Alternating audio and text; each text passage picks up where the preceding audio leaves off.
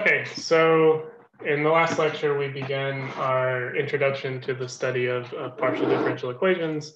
And so today we're going to continue with a little bit more introductory material in, in the first part of the lecture, which will concern the kind of basic notation and terminology that's commonly used when talking about partial differential equations. And then in the second part of the lecture, we'll move on to start studying specific equations, uh, in particular first order uh, linear partial differential equations, and we'll develop a method to actually solve these in a variety of, of situations. Uh, and then we'll, well, this will probably take about two lectures, so we'll continue this discussion in, in the third lecture as well. Um, right, and so when you're, you're studying a, a new topic in math, uh, unfortunately, there's usually a period where you have to spend a lot of time learning uh, uh, a bunch of the, the new terminology and the new notation and, and so on. And so this is what, what this section will, will cover. Uh, right, and so sort of the, the, the uh, one of the central objects at, at, the study of partial differential equations is something called a, a differential operator.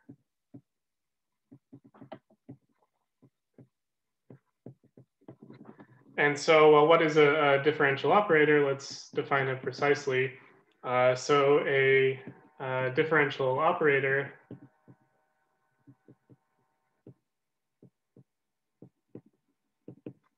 uh, for us, excuse me, is going to be a certain rule that will involving derivatives and things like this that will transform one function into a new function, right? So I'm going to call this a rule, say script L, uh, that transforms a given function into another function.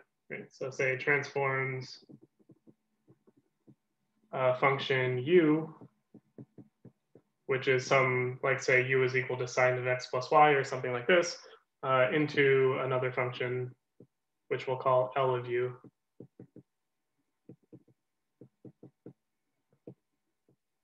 Right, and so, well, you want to think of this, this, I'll look at it, we'll look at more examples in, in a second, uh, but you want to think of this kind of intuitively, you want to think of this differential operator as kind of like a function but it's not a function on numbers or on, on vectors. Instead, it's a function whose input are, is other functions, right? And so you, you have some given function u, and the differential operator L will transform u into a new function. Uh, right, so what's an example? Let me define my operator L to be the rule which says uh, take derivative with respect to x and then add that to derivative with respect to y. Right. And so let's suppose that u is some, some given function of x and y. Uh, so how does this operator act? Well, I transform u to L of u, where L of u is given by applying these rules uh, to u, right? So apply d dx plus d dy to u. Distribute this like you would distribute multiplication uh, of numbers. So this ends up being d dx of u plus d dy of u, right? Or in, in shorthand, ux plus uy, right? So this is exactly a, a kind of a, a, good example of exactly what, what these things are, right? So I have an input function and, and a rule associated with my operator, and the rule says transform my input function into this quantity here. This is a new function, right? It, it depends on u in some way, but it's still a new function because I've taken derivatives of my uh, original function. And so let's look at one other uh, quick example. Uh, so let's say instead we define L to be uh, now not d dx plus d dy, but instead derivative with respect to x, uh, say plus xy times derivative with respect to y. And so when you see this, when you see any sort of other, this is like the function uh, xy, right? And so when you see this, you're going to treat it like you're multiplying by, by numbers, right? So uh, let's say I apply this to a given function u as before. Well, now I'm going to be applying this operation, which is take derivative with respect to x and add that to xy times derivative with respect to y, right? Apply to u. And so now I'm, again, I'm going to distribute this like I would distribute multiplication. And then whenever a derivative operation hits my function, that means take the derivative. Uh, And then when there, whenever there are other things lying around like x times y, that just, just means multiply by x times y. Right, so this is gonna end up being uh, distributed like you would, multiplication, d dx of u plus the function x times y times the y derivative of u, right? And so in shorthand, this is ux plus xy times uy. Uh, maybe it'll help if I actually use a, a an explicit function. So let's say uh, u is equal to x squared plus y squared, right? And so let's say I apply this differential operator here, right? So, well, in this case, L of u is given by, well, I take the x derivative of u, which is the x derivative of, of x squared plus y squared. And then I add this to x times y times the y derivative of u, right? And so now I can evaluate this. So the first term is just equal to 2x. And the second term, well, the second term is xy times the y derivative, which is 2y. And so in this case, for this particular function, uh, the differential operator takes x squared plus y squared, and it outputs uh, this quantity, which we just calculated, which is 2x plus 2x times y squared. Um, right.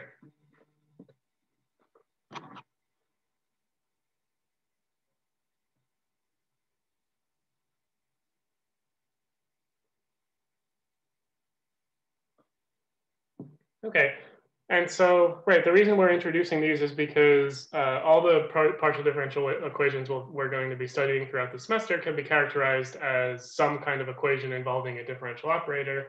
And this is the way that, that mathematicians will typically talk about, about these equations. Right, so for example, let's say we have the, uh, the PD, let's just continue with the example from above. And let's say we have a, a partial differential equation, say uh,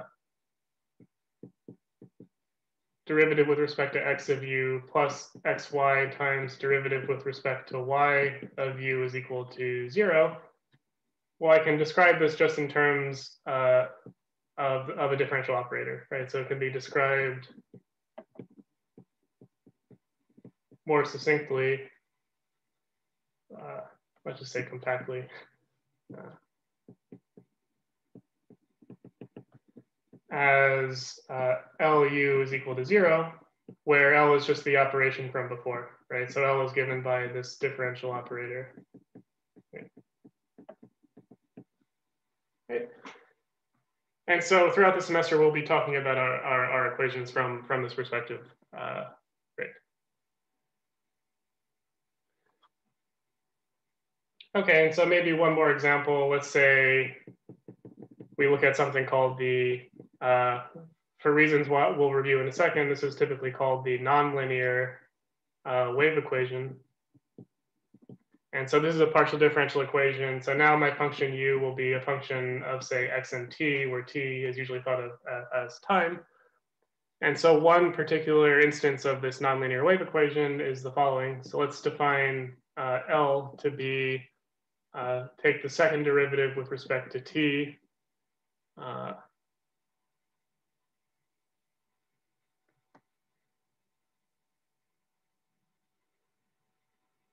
Actually, let me let me do this in a, in a different way. So I'm going to define my, my operator, not as I did in, in the previous example, but I'm just going to define it like, uh, how does it act on the function? So let me define L of u to be, right, so the input is just an arbitrary function, uh, u of x and t, uh, which has some, well, we're assuming all these functions are differentiable and things like this. Uh, and so the rule, which is my, my the differential operator for this nonlinear wave equation, is you, you input this function u and you output the second derivative of u with respect to t uh, minus the second derivative of u with respect to x, and then plus some other term, say u cubed, right? And so this is gonna be my, my differential operator for this example, right? And so this fits the definition we had previously, right? All we're saying is it's a certain rule that will take one function and transform it into another function, uh, typically involving derivatives. Right? Maybe I should add that. Uh, Otherwise, it, the differential doesn't really make, make sense here as a name.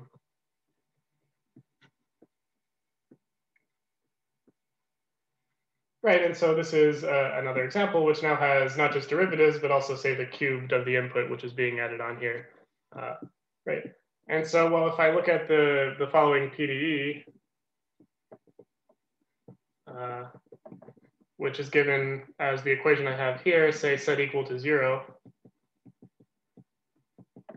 or I can write this as uh, utt minus uxx is equal to u uh, minus u cubed, right? Well, we can write this as using our differential operator in a, in a more compact form, right? So we can write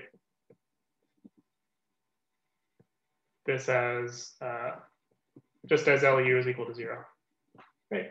So again, there's some operator, and then we've simplified the, the expression of our equation just as this operator applied to our function is equal to zero. Right. And so this, as I said a second ago, this equation is, is a version of the wave equation, which I, I, briefly mentioned in the last lecture, but it's more complicated because I've added on some, some cubic term here. Uh, so why is this called nonlinear? Well, we're going to go over that uh, in, in a second.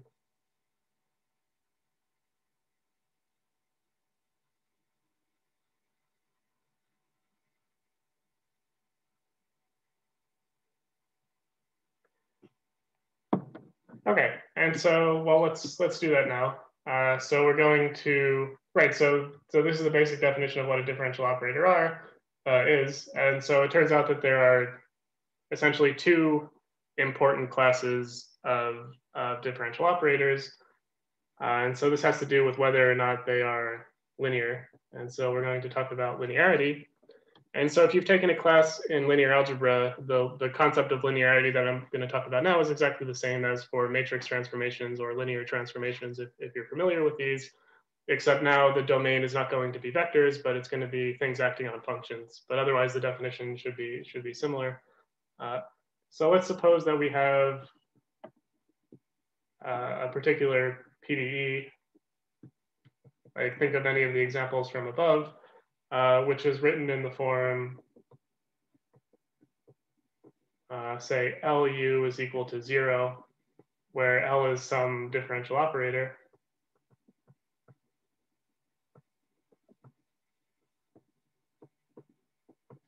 Um, right, and so the operator, uh, say L, is said to be linear if, if two conditions hold.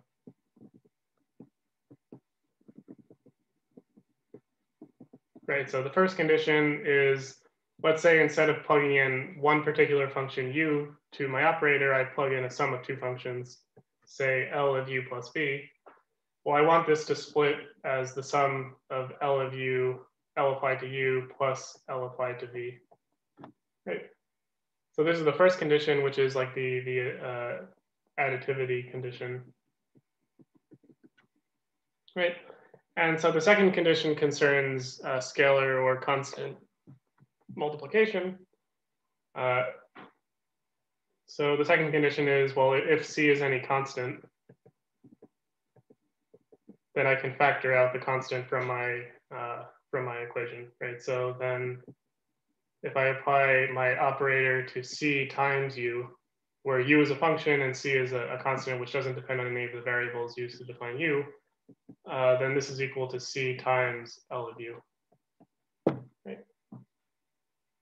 And so, right, so once again, I have a particular linear operator which is given to me. Uh, I'm looking at, this equation, LU is equal uh, to zero. Right, and so well, we say that this particular operator is linear if these two conditions are satisfied. Right, and so uh, what's an example of a linear operator? Well, let's just use one of the examples considered above. Uh, so let's say L is given by this operation where you take derivative with respect to X, and then you add on X times Y times derivative with respect to Y, right? Uh, so this is linear. And so let's uh, see why. Right, and so let's let's write this as, as like a proof. Right, and so how do you prove that, that a particular operator that's given to you uh, is linear, well, you have to check two conditions, right? You check condition one and condition two, and if both are true, then uh, it's linear. Right, so let's check condition one. Uh, so let's apply, suppose u and v are, are any two functions.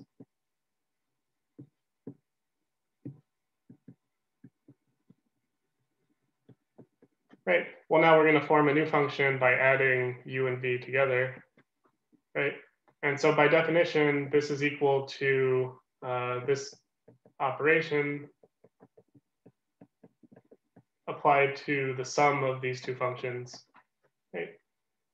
Where I'm thinking of u plus v as, as uh,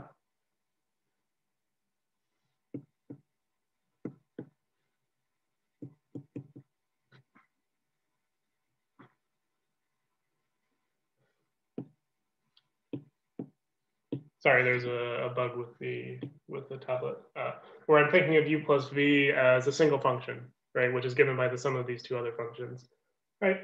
And so if I distribute uh, as I did before, well, this is going to be given by d dx of, of u plus v plus xy times d dy of u plus v. But now we know that if you take the derivative of a sum, then that's going to be a sum of derivatives right? So I can write this as uh, ux plus vx and for the first term.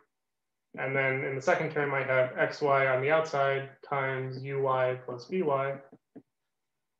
But now I can distribute this multiplication with the addition. And so this is going to end up being uh, ux plus vx plus uh, xy uy plus xy vy. And now let me rearrange this in terms of u and v, right? So collect terms involving a u and collect terms involving v. So this is ux plus xy times uy uh, plus vx plus xy times vy. Uh, but the first term in parentheses is just lu, right? This is L applied to u. And the second term in parentheses is L applied to v, right? And so, well, since these were all equalities, we have L of u plus v is equal to L of u plus L of v. And so this shows that the first condition is okay. Uh, and then using a very similar argument, which I'm, I guess I'll, right, let's just do this very, very quickly. You can also check uh, condition two. Right, so now let's look at, suppose C is just any, any scalar and U is any function in the domain of the operator. Uh, well, let's look at L of C times U. Right, so by definition, this is d dx uh, plus xy d dy applied not to u, but applied to the function which is given by c times u. Uh, but once again, we're just going to apply the rule and distribute, and, and things will work out. Um, so this is given as d dx of cu plus xy times d dy of cu, right? But now, since c is a constant with respect to x and y, when I take derivatives, I can just factor it out, right? And so this is just c times derivative of u. Well, I can factor out the c. Uh, so this is c times xy times derivative with respect to y of u. And so once again, once again, I can factor out c one more time, and I'm left with c times ux plus xy uy. And of course, this is C times L of U, just using the definition. And so this is a, an example of a linear uh, operator, right? So we, we check condition two.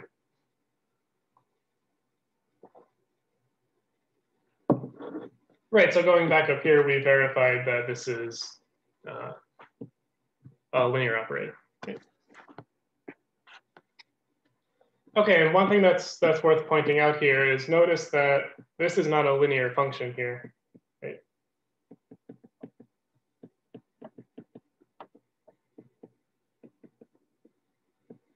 Right? So here you want to be a little careful. So you can have a linear operator, even though there are nonlinear functions which show up in the description, uh, right? So usually the linear operators are going to be any combination of uh, differentiation operations along with maybe multiplication by some function functions which don't depend on u, right? So even though this xy is not a linear function of x and y, since it doesn't depend on, on u, it ends up being okay, as you saw in the calculation that we did. And this kind of boils down to the fact that the operation of multiplying by functions is, is kind of a linear operation, even if the functions themselves are not linear. Uh, if that went over your head, that's that's okay. I mean, you can, the, the best thing to do in, in any case until you get used to the hang of this is to just check both conditions kind of line by line. And you, if you do a few examples, you'll, you'll get the hang of it, hopefully. Okay, and so that's an example of a linear operator. What's an example of, of something that is not linear? Right, so definition, if your different, differential operator L is not linear, uh, it's called uh, nonlinear, right? And so as an example, let's return to what I called the, the nonlinear wave equation. So let's say my operator is defined by L of u is given by uh, utt minus uxx plus u cubed. Right, so this is second derivative with respect to t of u uh, minus second derivative with respect to x of u plus u cubed. Right, so this is nonlinear. Uh, right, and so how do you prove that, that something is not linear?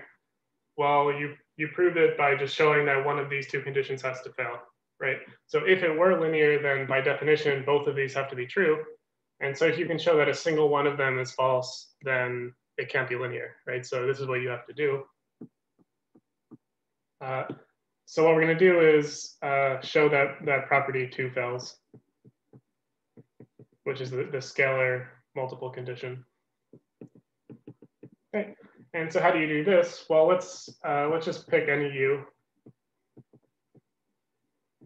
And uh, let's say we take c not equal to zero, any scalar c that's not equal to zero. Uh, let's look at L of applied to cu, right? So this is the same thing as a second derivative with respect to t of c times u right? Just using the definition up here, uh, minus second derivative with respect to x of c times u, and then finally plus uh, c times u cubed. Right. Okay, well, for the first two terms, these are just derivatives. c doesn't depend on x or t, so I can factor these out. And so this is c times uh, utt minus c times u xx. But the third term here is where we're, gonna, we're going to run into a problem. Uh, so this is uh, c, times c cubed times u cubed, right? And so I can factor a c out of this expression, uh, but if I do, I'm gonna get c times utt minus uxx, and then plus c squared times u, uh, u cubed, right? And so this is where the problem is. So this thing here is not uh, L apply to U. And so what we have here, for example, let's say we just let C equal two or something like this. Uh, so this is not equal to uh, C times LU. Right? And so therefore, well, we started with L applied to CU, and we showed that this cannot be equal to C times LU. And so therefore, uh, property two fails. And so the equation can't be linear.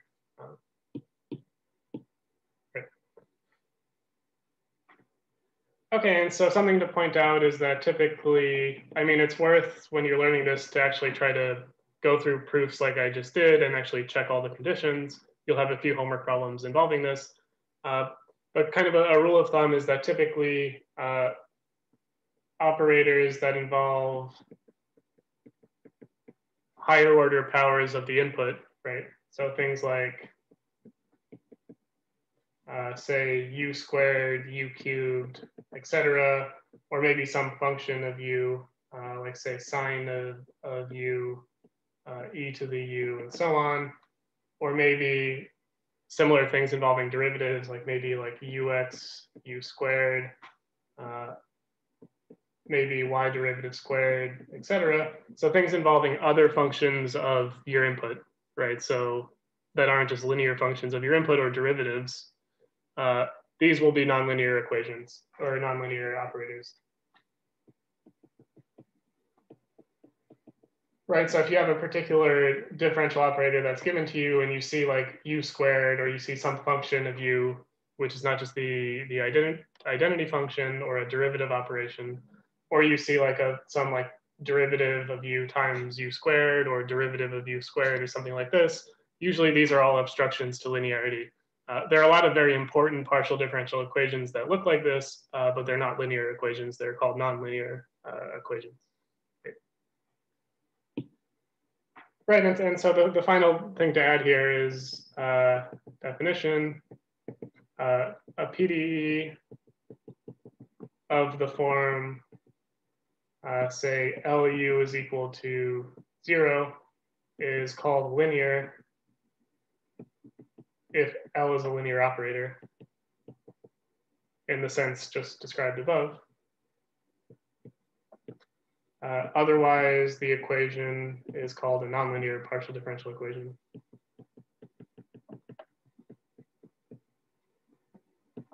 Okay. Okay, and so we're, we're almost done with kind of the basic terminology that we need to, to use to talk about uh, partial differential equations. Uh, there's one more definition which I want to, actually two more things I want to talk about before we move on and actually start solving uh, equations. Uh, so the first is just kind of an extension of what we, actually they're both going to be extensions of what we were just talking about. Uh, and so now I just want to briefly talk about uh, this notion of homogeneous versus non-homogeneous equations, which is something you you might be familiar with from an, an ordinary differential equations class.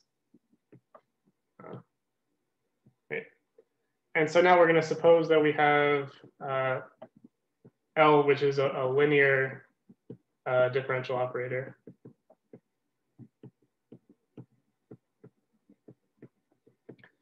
Um, right, and so we're going to consider two equations. Uh, so let's suppose that uh, g is a fixed function that's given to you. Right, so for example, maybe uh, think of g as something like uh, sine of x squared plus y or something like this. Right, it's just some some arbitrary, but so I shouldn't, I shouldn't use the word arbitrary, some some function that's given to you. Right, uh, right. So the equation.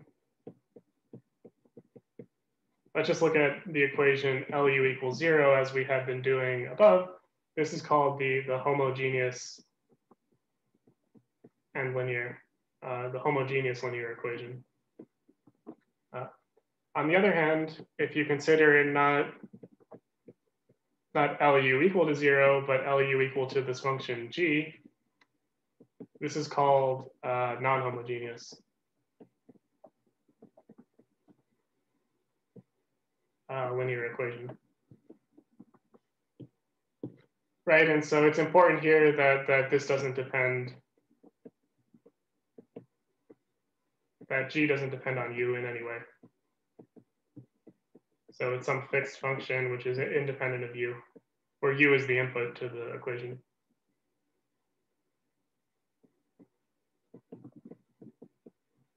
Right, and so for example, let's consider, let's say the linear wave equation from before, right? So if I have something like utt minus uxx equals zero, this is the linear an, uh, one case of the linear homogeneous uh, wave equation, which we briefly introduced in the last lecture, and we'll talk about more over the next few weeks. Uh, on the other hand, if I use the same equation in terms of derivatives, utt minus uxx, but instead I say this is equal to sine of x squared plus t, this is now a linear uh, non-homogeneous uh, wave equation.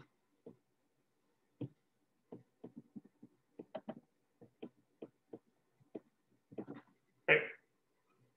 So non-homogeneous again just means there's some extra function that's that's given to you which doesn't depend on u, and you have some combination of say derivatives of u, maybe multiplied by some other functions which are all equal to this this extra function like sine of x squared plus t in this example.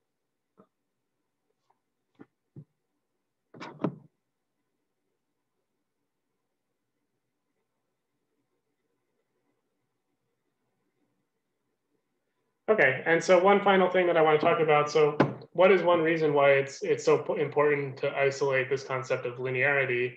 Uh, like why have, why have I spent like the first giant section of, of, of, this lecture going over in detail like this notion of linearity?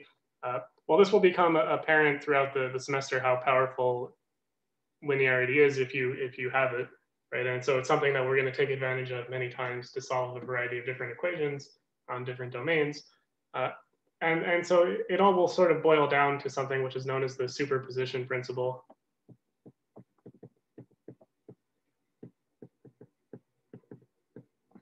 Uh, and so this is essentially the principle that says, suppose I have a bunch of solutions to a linear partial differential equation. Well, if I add them all together, I get a, another solution to the partial differential equation. Uh, right, so, so let's suppose that we have a, a linear partial differential equation, which is given by say L of u is equal to zero. For L, you can think of any, any linear operator from above, maybe this, or maybe some of the other examples. Uh, if you want to, maybe pause the lecture and write, write down some examples to help you uh, work through this. Um, right, and suppose uh, we also have uh, two functions, say u and, and v, which solve the equation.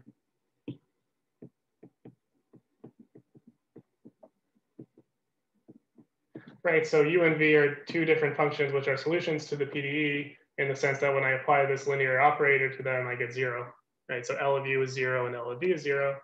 Uh, well, notice that if I look at L of u plus v, then since this is linear, this is equal to using property one equal to L of u plus L of, of v.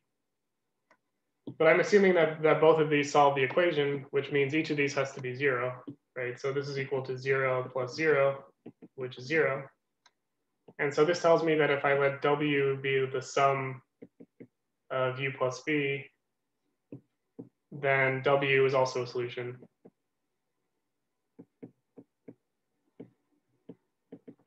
Right, and so this tells us then that the sum of two solutions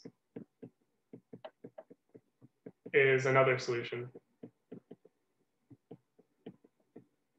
Right, and so this sum is like a superposition of the two functions, right? Maybe these functions are like some kind of oscillating waves and you take the superposition of the two waves. Well, if both of these waves obey a certain partial differential equation, then their sum has to also whenever the equation is linear, right?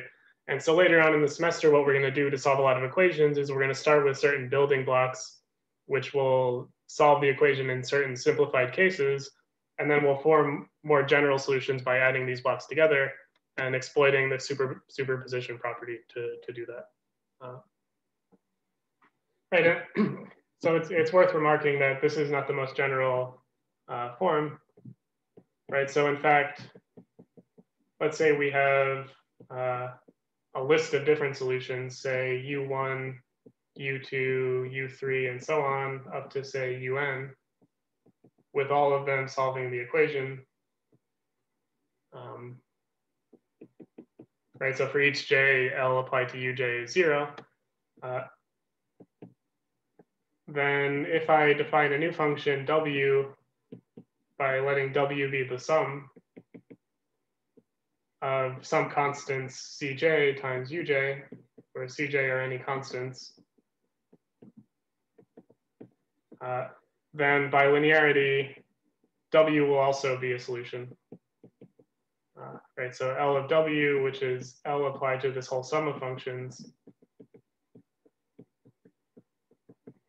Well, you can show that even though, right, if we go back to these properties, uh, these properties were only given for sums of two functions or, or maybe a, a L applied to a scalar. But what you can do is keep using this, right? So if this is say a sum of four functions, well, I can break this up as L applied to the first two plus L applied to the second two, but then I can break those two up further, right? And so you'll get a sum of four terms. And you can do this for any number of, of terms, right? So you're basically using the additivity or this constant scalar property over and over multiple times. And so if you do this, again, maybe it'll, it'll be helpful uh, if you haven't seen something like, like this before to maybe pause the lecture and try to work this out and, and think about it using the definition from before you can show that this will, will simplify to the sum j equals 1 to n of L applied to Cj Uj using the additivity condition multiple times. Uh, but then now if I use the scalar condition for each term, I can factor out the Cj. So this is going to be sum from j equals 1 to n of Cj applied to Cj times L applied to Uj, but L applied to Uj is zero for each J, right? And so if this is zero, well, a sum, it doesn't matter what n is, a sum of n zeros is always zero. So this is equal to zero. And so W solves the equation. Right. And so this means that if I have a, a, bunch of different tiny solutions to my equation, I can construct a more general solution by taking like an, say, like nth order, uh, nth order sum, right? Like say I have a million small pieces that are easier to understand and I form a more, I can form a more complicated solution by adding those all together. Uh, if the equation is linear. Right? If the equation is not linear, then the superposition principle fails. And this is one of the reasons why nonlinear equations turn out to be harder to understand than, than linear equations. Uh,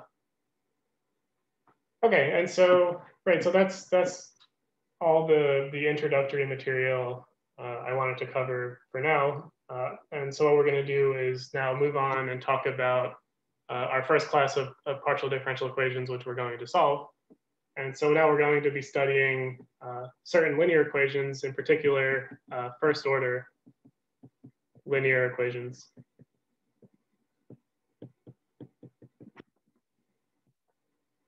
Okay.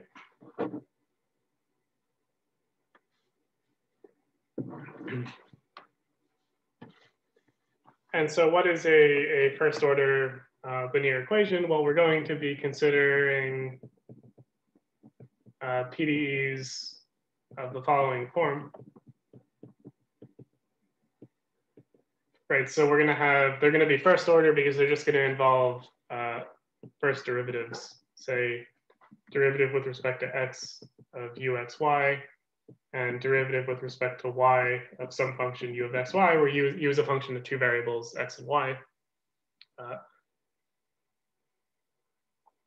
and so we're going to look at equations which are combinations of, of terms like this, and maybe there's some other function, say a of xy times the first term plus some other function b of xy times the second term, all equal to zero, right? Where a of xy and b of xy are functions which are given to you. And u is, is uh, unknown. And so we want, we'll be in a situation where you're given some function a and some function b. You're given this equation then where u is unknown and you want to find a function with u which solves the equation, uh, assuming you know what a and b are. Okay, so what we're going to do, and this is a, I mean, this is, this is a typical uh, method for approaching something like this is, well, you can sort of assume that this problem is going to be harder to solve if A and B are more complicated functions. And so let's first try to understand this problem in a simplified case, in particular when A and B are just constants, right? And so what we're going to do is first look at the, the constant coefficient case.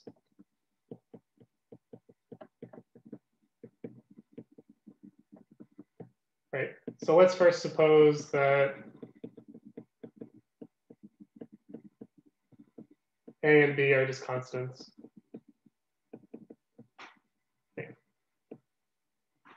So in this case, we can rewrite the, the partial differential equation in, in the following way.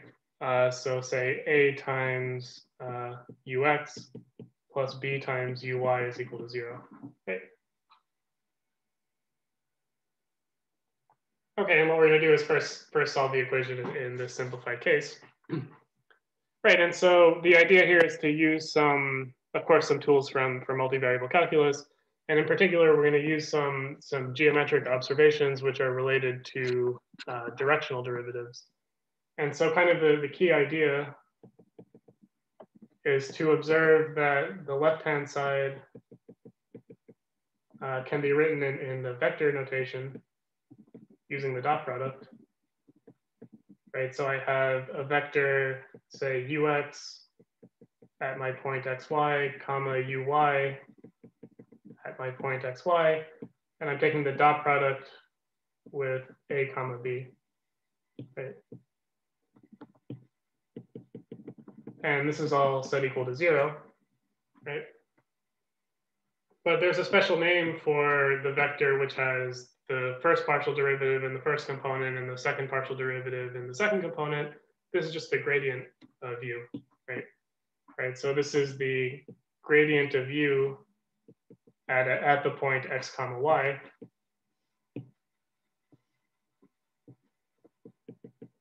And I'm taking the dot product with this vector a comma b, where a and b are two constants which were given to me. And so this is all set equal to zero. Right? Okay, well, this has certain geometric meaning. Uh, so you may recognize the quantity on the left as the directional derivative of u in direction AB. Right, so over here, the left-hand side is the directional derivative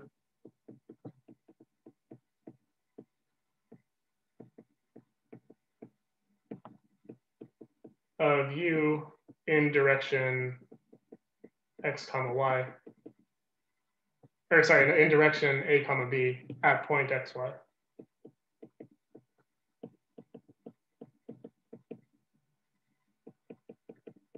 Right, and so more intuitively speaking, what is what uh, what is the or just to kind of review, what does the directional derivative mean? Well, this quantity measures the rate of change of your function u as you move in the direction given by a comma b, right? So you pick a point in the plane and you move in the direction given by this vector here. This quantity measures the rate your function changes in that direction.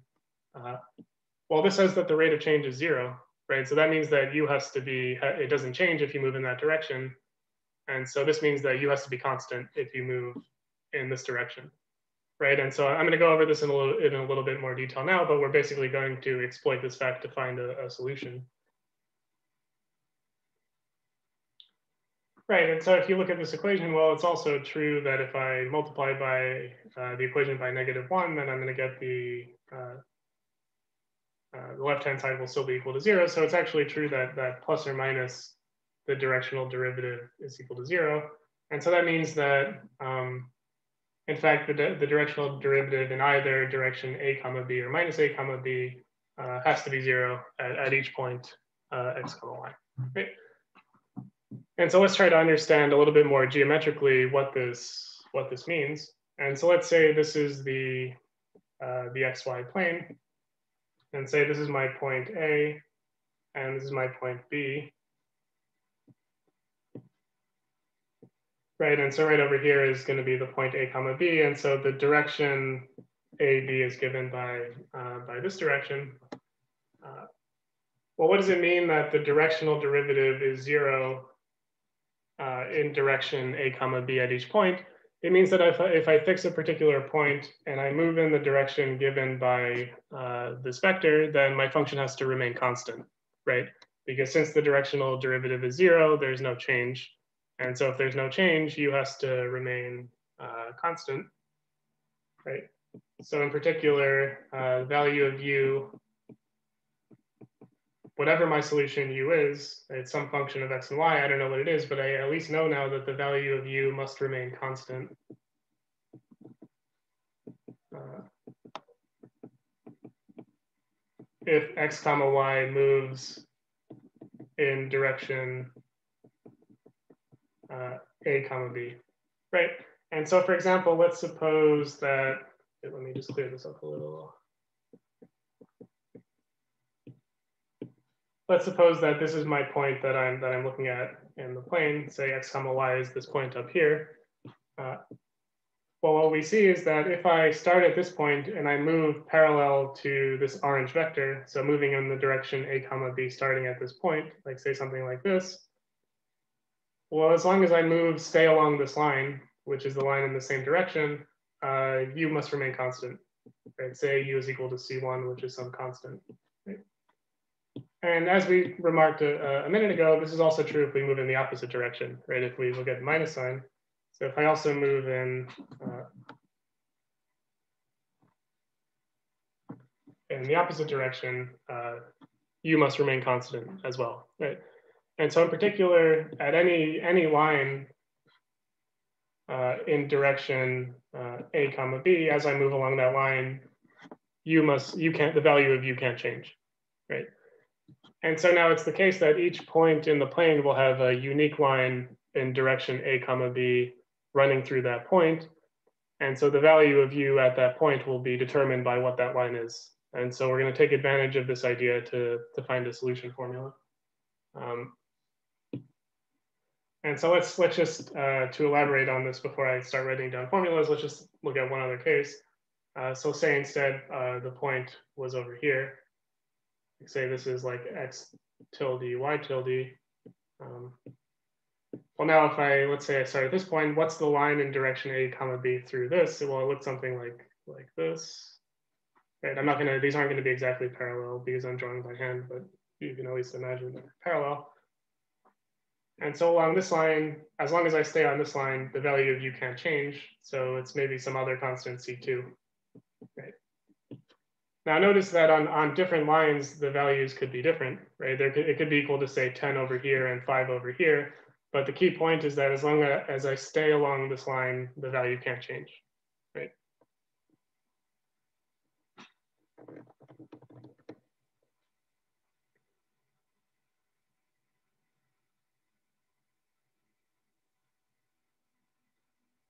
Okay, and so, right, so what's the, let me, let me get the, the main, sort of the main idea uh, in writing, and then we're gonna, we're gonna see how to use the, this idea to, uh, to solve the equations. Uh,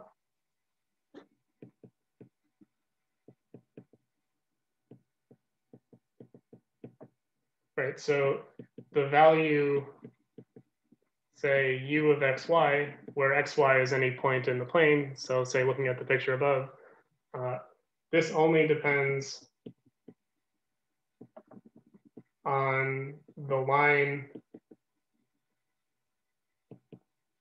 uh, through your point in direction a comma b, right? So any point in the plane will have a unique line in direction a comma b that passes through it, there are many lines that have, or sorry, there are many points that have the, that are on the same line, but nevertheless, each point has a unique line that passes through it in direction a comma b. Uh, and so the value of u at a point only depends on what particular line that is, right? So in some sense, u is a function of, of these lines, which are translates of the line through the origin in direction a comma a comma b, right? And so what we're going to do is, well, let's let's try to write down the equations of these lines and see how we can vary uh, if we can find a parameter that describes these lines, and then u will be a function of that parameter because it can't really be a function of anything else. Um,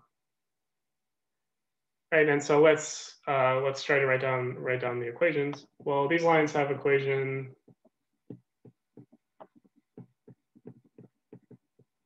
uh, well, y is equal to b over a x plus r, where r is the intercept, right? And then b over a is the slope right?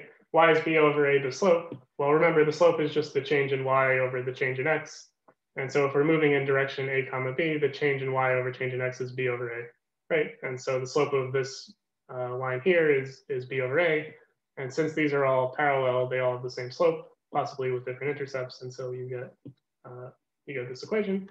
Uh, and so let me rearrange this equation, say assuming a is not equal to zero, this says that a times y is equal to bx plus c, where c is equal to ar. So c is related to the intercept in some way. Uh, and so I can rearrange this further as ay minus bx is equal to c. Right? And so these are the equations of my different lines. And so each value of c here, which is just an arbitrary constant, uh, gives a different line. And so this parameter C here will parameterize all the lines that are parallel to the line through the origin in direction A comma B. And from the, the previous discussion, well, we know that on each of these lines, U must remain constant, although it could take different values on, on distinct lines, right? And so the idea is, well, this parameter C describes all these lines, and U, U, uh, u is somehow like a function of these lines rather than a function of the point, right? And so we would expect that maybe u is some function of this constant c, or sorry, of this parameter c.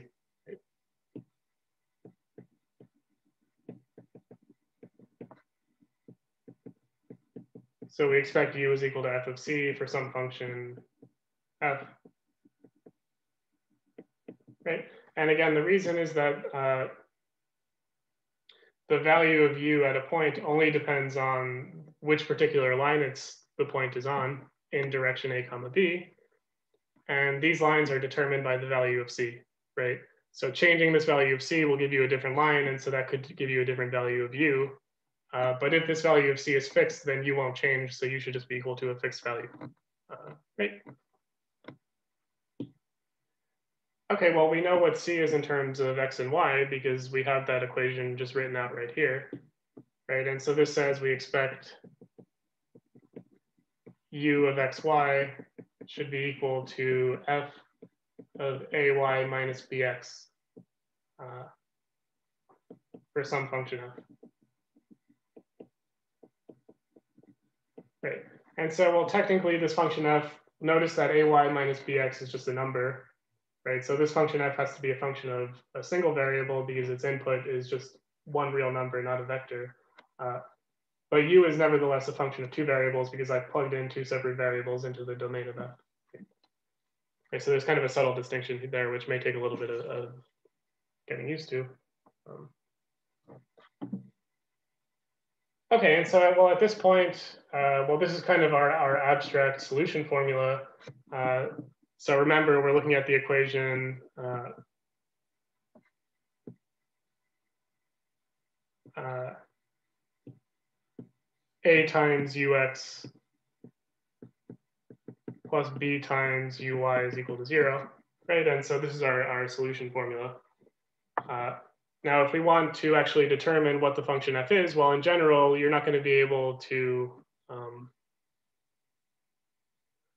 uh, you're not going to be able to figure out what the function f is unless you have more information, right? And so in particular, the function f is going to be determined by some initial condition, which is, which is given to you. Uh, and so we're going to go over this in, in, in a minute, but I just want to maybe frame this as, as like a theorem. Um, right, so let me write this a, as a theorem, which is our basic uh, first order constant coefficient.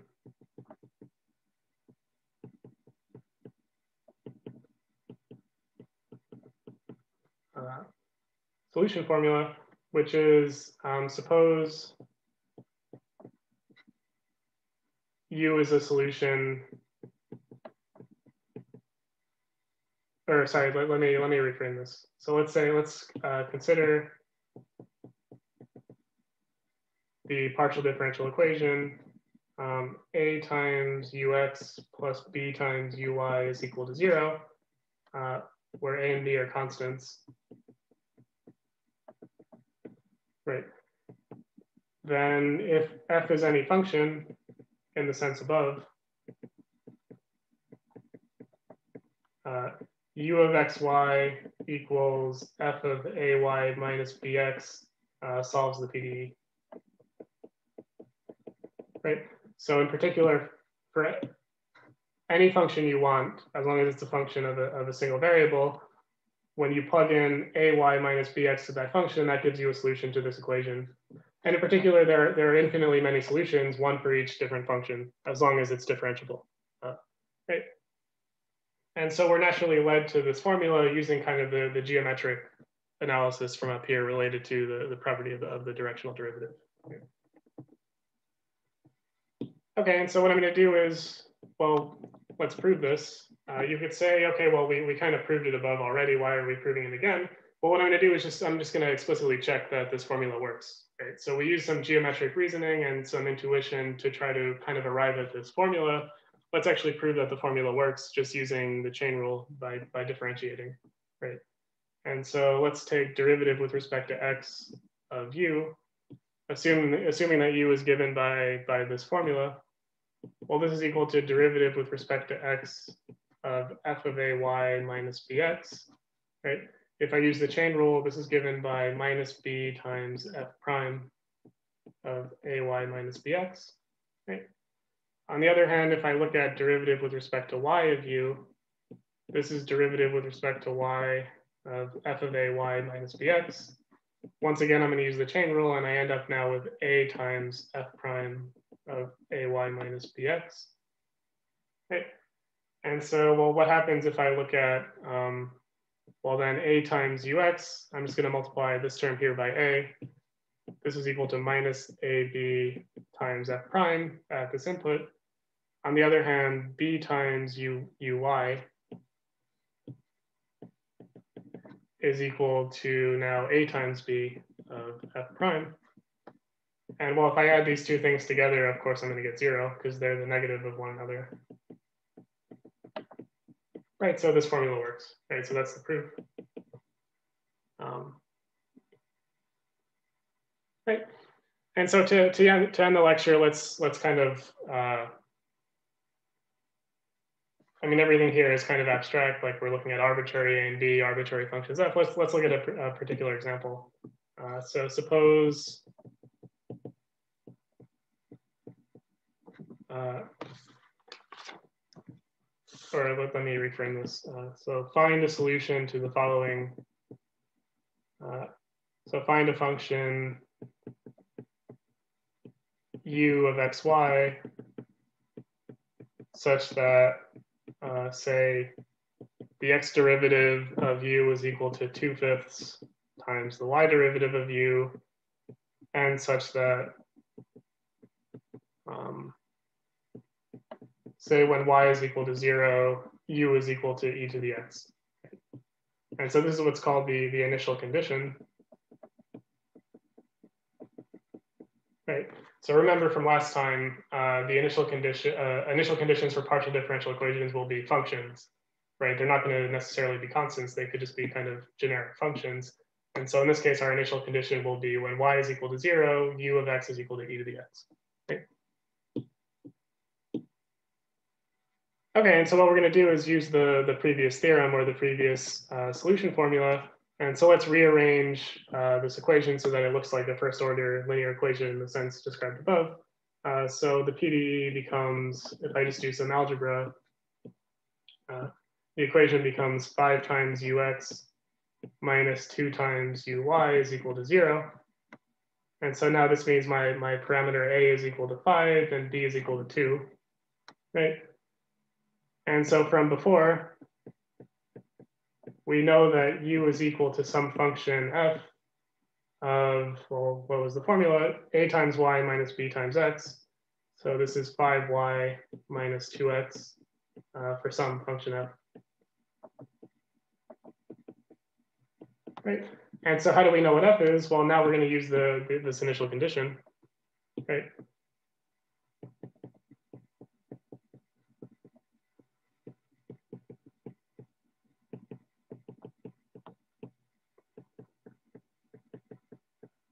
And so in particular, the initial condition says that e to the x has to equal u of x comma zero, right? Well, I know that u is given by this expression here. And so this is equal to f of five, well now y is set equal to zero, so it's five times zero minus two x. And so this is equal to f of, of minus two x. Okay. And so at this point, I don't quite know what f is, but I'm, I'm on track to determining what, what f is. And in particular, this says that whenever I plug in minus 2x to my function f, I have to output e to the x.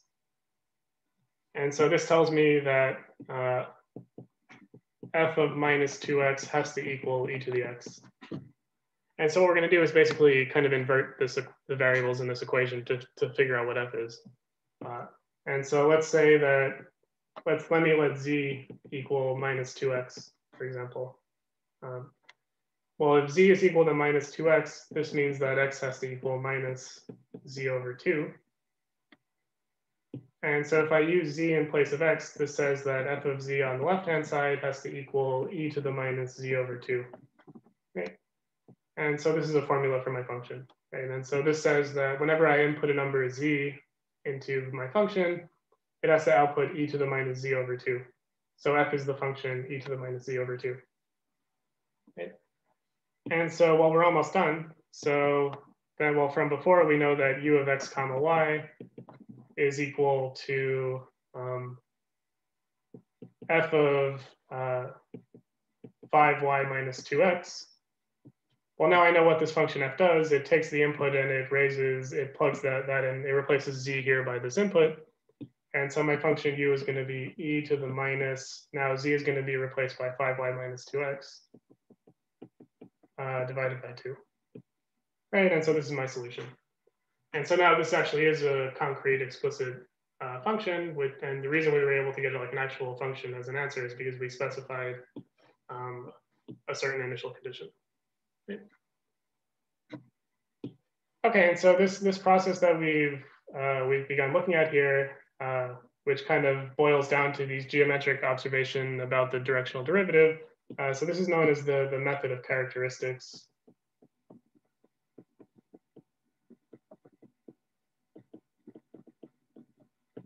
And so these lines here are called the the characteristic lines.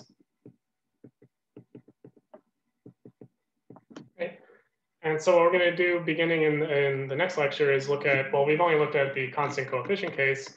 So what we'll do is extend this method of characteristics to the, uh, the so-called variable coefficient case where a and b are now allowed to be functions of x and y as well. And it's to, we're going to see that it's going to be very important to try to, uh, this perspective about the different, the directional derivative, derivative is going to be very important uh, in understanding how to, how to solve first order linear equations in that case. Uh, the methods are going to be very similar, except we'll see that instead of having characteristic lines, they're going to be kind of arbitrary characteristic curves along which the solution has to be constant. And uh, right, so we'll, we'll see how to do that next time.